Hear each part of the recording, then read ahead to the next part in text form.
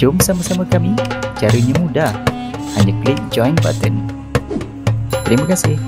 Golongan Wahabi menyesatkan Asyairah Maturidiyah kerana mereka melihat apa yang disampaikan oleh Asyairah Maturidiyah di dalam akidah itu tidak sesuai dengan apa yang dipegang oleh golongan Wahabi.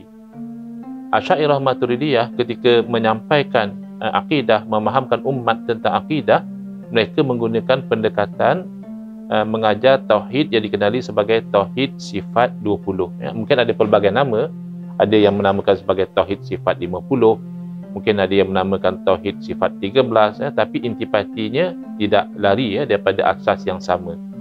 Sementara golongan Wahabi, mereka berpegang dengan akidah yang berteraskan kepada Tauhid Tiga yang dipromosikan uh, oleh uh, tokoh ulama pada kurun yang ke-8 iaitu Al-Imam Ibn Taymiyah.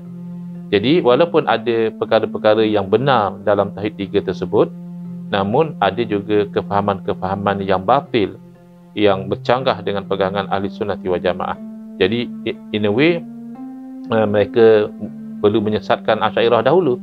Ha, apabila Asyairah ini sudah dianggap sesat, sudah dianggap salah, barulah umat Islam akan pergi kepada Tauhid tiga ya, yang dipegang oleh golongan Wahabi.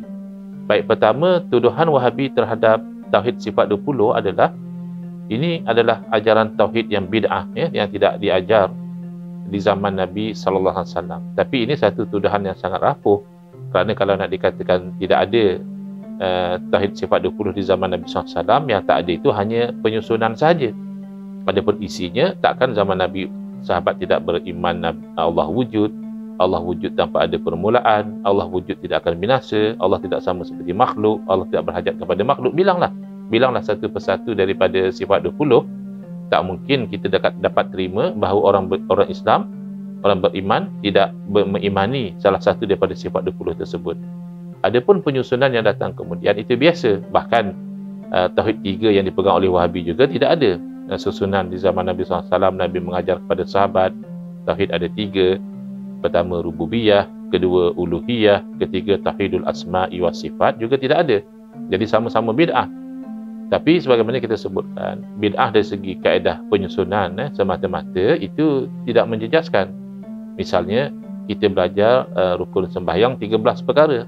mana ada sahabat Nabi belajar rukun sembahyang 13 perkara tapi kan tak lagi daripada apa yang diamalkan oleh para sahabat tentulah sahabat solat ada niatnya ada berdirinya ada fatihahnya dan sebagainya.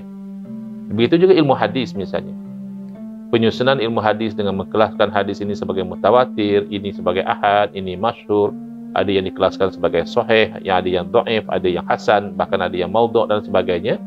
Ini semua penyusunan yang baru yang bid'ah ya, yang tidak ada di zaman Nabi wasallam. Tetapi intipati ilmu hadis itu ada, iaitu ingin prihatin terhadap apa yang yang diriwayatkan daripada Nabi SAW dan ingin memastikan adakah benar itu daripada Nabi Wasallam. Yang kita bimbang adalah kalau isinya itu juga bercanggah, isinya juga bid'ah. Kerana bid'ah dalam akidah tidak ada yang hasanah. Bila kita kata bid'ah dalam akidah, mana akidah berbeza dengan akidah Nabi SAW? Tak mungkin ya, akidah yang berbeza dengan akidah Nabi SAW itu boleh menjadi hasanah. Ha, jadi kita lihat mereka mendakwa uh, bukan sahaja uh, ilmu sifat 20 ini adalah bid'ah, bahkan ini di, diambil daripada uh, ilmu falsafah Yunani. Ini ilmu orang kafir. Ini bukan akidah Quran dan Sunnah. Ini juga satu bentuk penyelewengan fakta.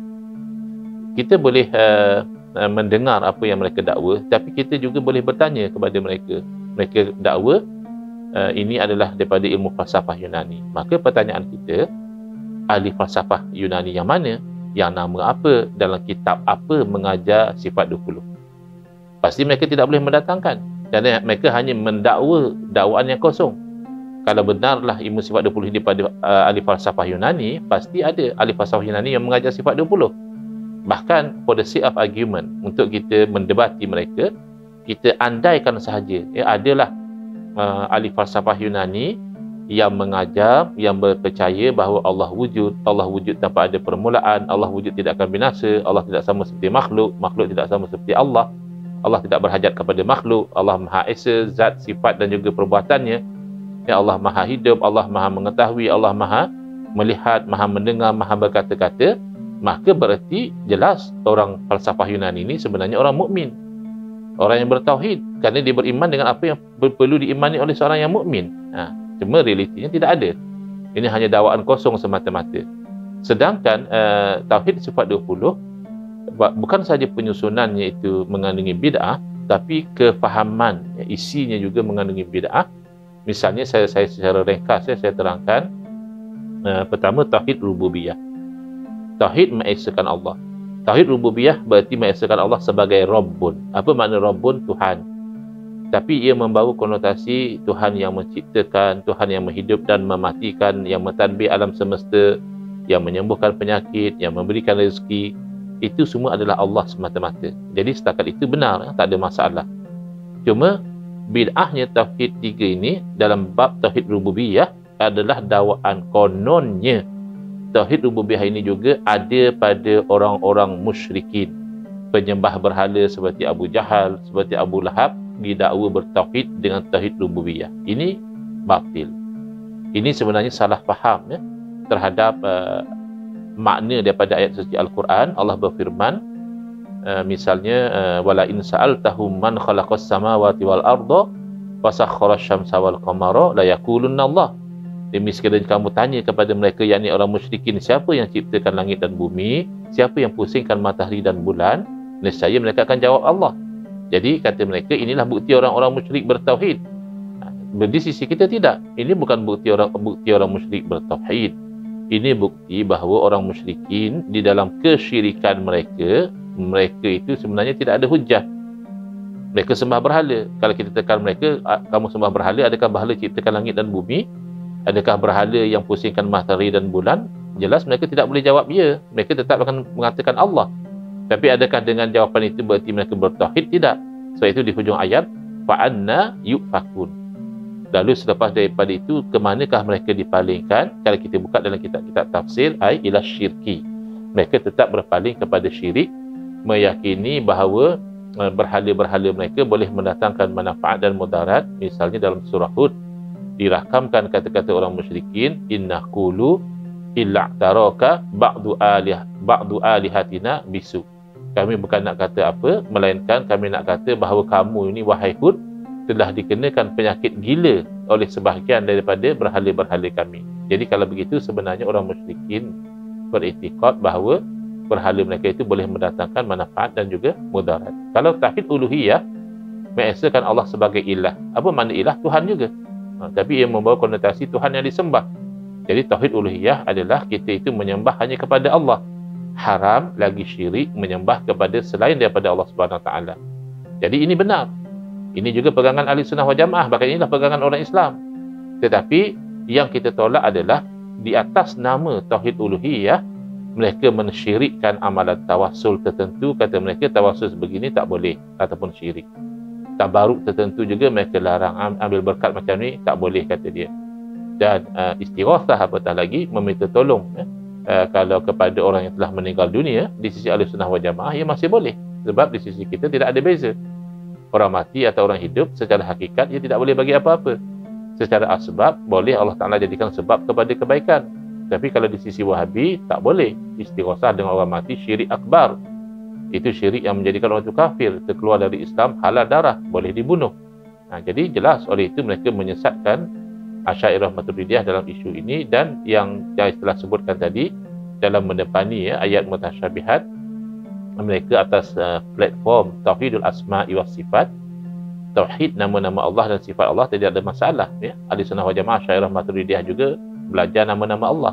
Bahkan memang kita belajar sifat-sifat Allah. Ha, tetapi atas nama Tauhidul Asma'i wa Sifat, mereka memahami ayat-ayat mutasyabihat dengan makna yang zahir yang tidak layak dengan Allah Ta'ala. Ini masalah. Misalnya takkan kita nak kata, mereka kata Allah bertempat di atas arash dengan yang layak dengan Allah. Kita berpegang istawa, istiwaan yalikum bihi jalla jalalu. Istiwa yang layak dengan Allah, okey, tak ada masalah. Tapi setelah kamu maknakan istiwa itu dengan makna bertempat atau duduk, baru kamu cover dengan yang layak dengan Allah, itu tidak selesai masalahnya. Misalnya, tak mungkin satu orang menetapkan kepada Allah sifat lupa. Dia kata Allah juga bersifat dengan sifat lupa tapi lupa yang layak dengan Allah. Lupa itu sudah tidak layak dengan Allah. Walaupun dalam Al-Quran ada disebutkan nasullaha fanasiyahum. Mereka lupa akan Allah lalu Allah lupa akan mereka. Tapi tidak boleh dimaknakan dengan makna lupa tetapi para ulama tafsir memaknakan dengan makna Allah tidak peduli dan Allah azab kepada mereka. Demikian eh, mereka menolak takwil golongan Wahabi ini kerana mereka taksub kepada pendirian Al-Imam Ibn Taymiyah yang menolak takwil yang mengatakan tidak ada majaz di dalam Al-Quran. Sedangkan takwil ini adalah uslub Allah sendiri. Dalam hadis sahih riwayat Imam Bukhari, hadis hadis kursi yang mana uh, uh, Allah Subhanahu Wa Taala berfirman kepada hamba-Nya, "Ya bani Adam, maritu falam ta'uni." Atau kama qala sallallahu Wahai anak Adam, aku sakit tapi kamu tidak menziarahi aku. Bolehkah kita kata, oh saya berpegang dengan hadis sahih? Maka saya menetapkan Allah sakit tapi sakit yang layak dengan Allah. Mana ada sakit yang layak dengan Allah? Sakit itu satu bentuk kekurangan, kelemahan. Maka dalam hadis tersebut Allah sendiri takwil marid tu Allah takwil kepada maridha abdi fulan. Hamba aku si fulan sakit. Jadi Allah nisbahkan kepada zat Allah bukan berarti Allah yang sakit tapi nak menunjukkan betapa pentingnya urusan menziarahi uh, saudara-saudara yang hamba-hamba Allah yang sakit. Kalau kamu ziarahi dia nescaya kamu dapati aku berada di sisinya. Itu kan masalah lagi. Kalau nak ikut cara wahabi berarti Allah bertempat di di rumah sakit atau di hospital atau di, di sebelah orang sakit.